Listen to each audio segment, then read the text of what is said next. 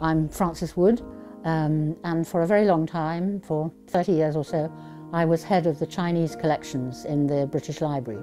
So my whole sort of working life has been to do with Chinese books. And then in my spare time, um, I used to amuse myself by writing books about China um, to try and introduce Chinese culture to people in the UK and Europe. I first thought about Chinese when I was at school. I come from a family of linguists, if you like, and I have to say, from the moment I began, I've just loved it. It's the most fascinating language. Chinese has just been an endless wonder for me. When I graduated, um, I finished my degree. My grandmother died and left me a little bit of money, I think £250 or something like that. And um, I was able to spend it on going to China with the first British youth delegation.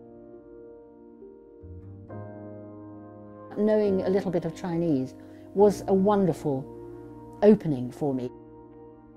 And we went to all sorts of wonderful places, places nobody would go now. And then in 1975, I took the opportunity to go back to China for a year. I thought I had to go to China for a longer period of time to improve my spoken Chinese because at, at Cambridge you couldn't really learn to speak very much and there were very few opportunities. In the early 1970s, China was still an incredibly poor country. You could wake up in the middle of the night in the Peking Hotel, look out of the window and see flocks of sheep being driven along Chang'anjie.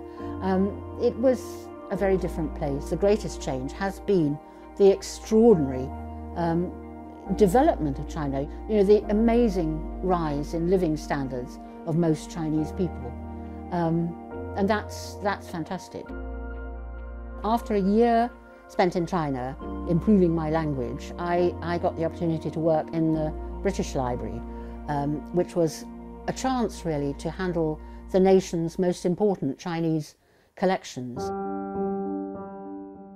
The great Dunhuang collection, the great mass of material that had been brought back by Aurel Stein from Dunhuang. I think it's very difficult for people to understand how amazing Dunhuang is. In this tiny cave, you have the world's earliest paper archive.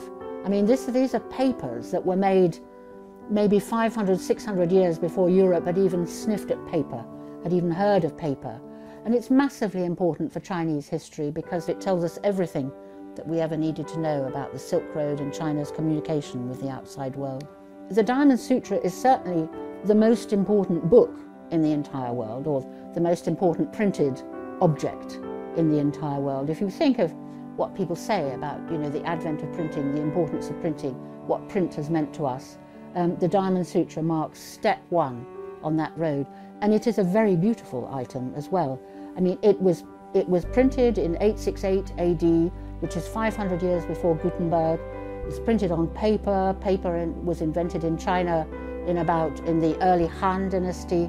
I mean, both of those aspects, paper and printing, are Chinese firsts, and deserve to be celebrated. That material in particular really was crying out for work. I suppose I led the charge in finding money and finding help. Over, um, I suppose, a period of about five years, we had Chinese conservators coming. What they would do was very gently flatten out these piece, paper pieces, and then they were eventually what we called encapsulated. We ended up with an extra 14,000 items added to the collection, all of which can now be seen um, by visitors. The whole project of bringing Chinese conservators over, bringing Chinese um, cataloguers over, experts and so welcoming Chinese cataloguers, that was, is the thing that I'm most proud of in, in, in the library. My role was just that one of you know, working in the library, making things accessible and helping Chinese scholars to use them and so on. But my goodness, I was so lucky in that, you know, meeting these amazing scholars too. I learnt such a lot about the Dunhuang materials themselves. If the Diamond Sutra was returned to China, I would be delighted.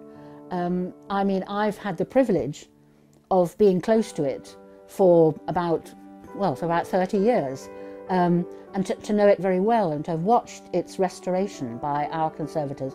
And I think we can feel a pride that it's been beautifully treated in the UK. So I think we could be quite proud in handing it back to China and say, look, this we have looked after very well. I think it's fantastically important to educate um, British people about Chinese history and culture because China is there, because China is important, because we ought to try and understand, but also because if they're anything like me at all, they will just find it so endlessly interesting. We deserve respect and the Chinese people with their own culture also deserve respect. And I think the more you learn about a different culture, the better both sides are. Understanding and empathy are, are absolutely essential to the human experience. We are all exactly the same when it comes to kind of utterly basic feelings. Um, and what we have that is different is cultural. And just to see the difference that culture makes is absolutely fascinating. There are difficulties sometimes in understanding where cultural matters come up against cultural matters. And I'd only hope that the only thing a bridge builder can do is just to point out how easy it is to get across this point. I mean, we just need to break down barriers and then build the bridge across. Um, just helping people to see that there's nothing to be afraid of.